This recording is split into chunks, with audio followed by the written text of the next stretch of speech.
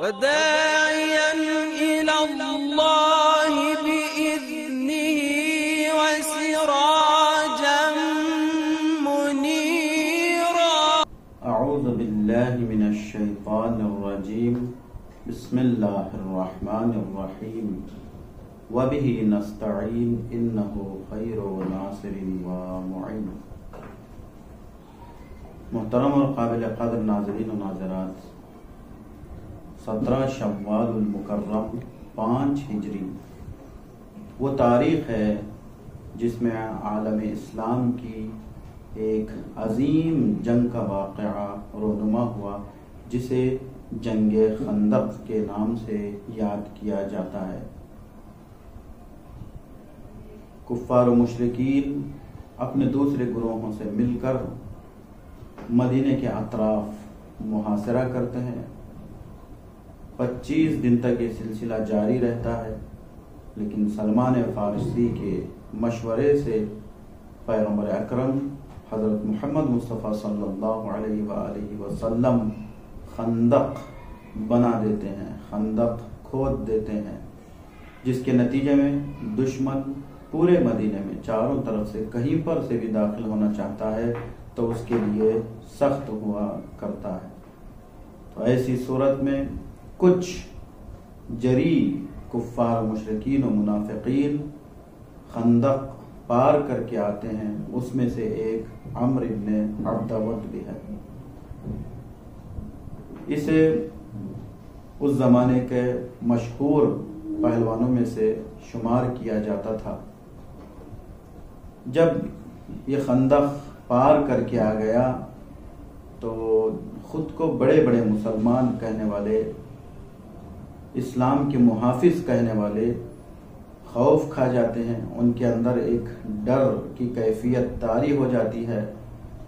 नतीजा ये होता है कि इसके डर से कुछ जाने माने मुसलमान, वो अपने लिए बुतों को ढूंढ लेते हैं कि अगर उसने हमारे ऊपर हमला करना चाहा तो हम बुत उसे बता देंगे। और कहेंगे कि देखो, हम अपने दीन पर बाकी हैं। ये इस्लाम जैसे दीन को अपनाना हमारा ढोंग था। यानी ये एक खौफ की कैफियत जो उनके अंदर तारी हो गई थी, कुछ न सूझा तो उन्होंने अपने दीन को बदलने का भी सोच लिया। बहरहाल वो खंदक पार करके आया तो बार बार रसूल खुदा को ताने दिए जा रहे थे। कि कौन है जो मेरे मुकाबले में आए? हलमिम मुबारिज। मेरे मुकाबले में कौन है जो आए?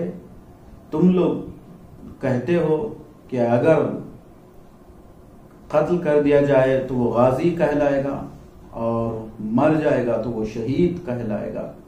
तो कौन है जो तुम में गाजी बनना चाहता है, शहीद बनना चाहता है? पूरे मुसलमानों के लश्कर में सन्नाटा छाया हुआ है।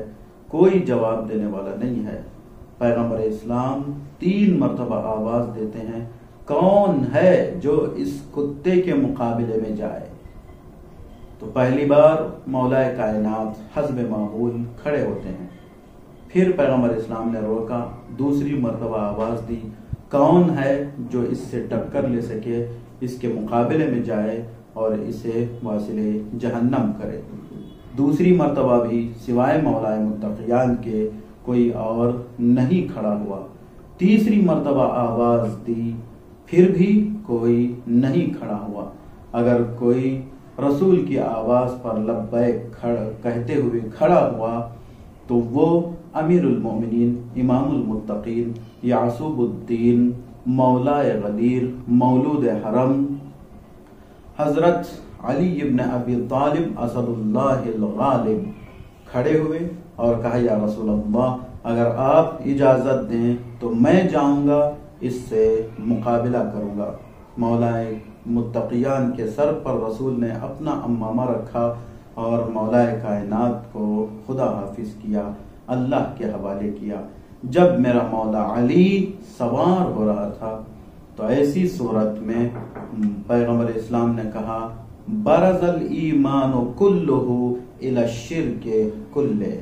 आज एक अकेला अली, एक दुश्मन के मुकाबले में नहीं जा रहा है, बल्कि पूरा ईमान कुफ्र और शिर के मुकाबले में जा रहा है।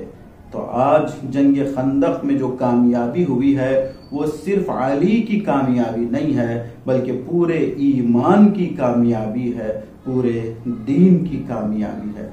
मौलाए मुतकियान जाते हैं उसे अपने वजीफे के एतबार से समझाते हैं कि या तो वापस चला जा, या तो इस्लाम कबूल कर ले।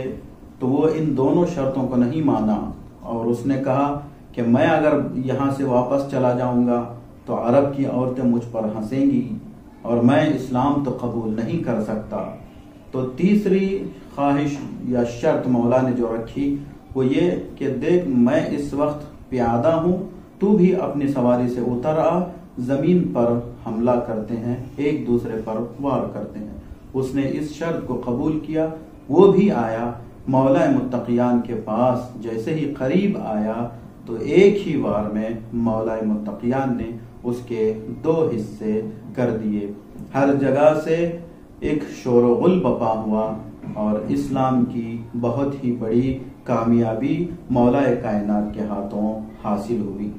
तो फिर एक बार मैं अर्ज़ कर दूँ कि सत्रह शवाल पाँच हिजरी आलम इस्लाम के लिए एक यादगार तारीख है, जिसमें कुफर और शिर के मुकाबले में ईमान की फतह हुई। वसलामकुम वरहमतुल्लाहि वबरकातुहू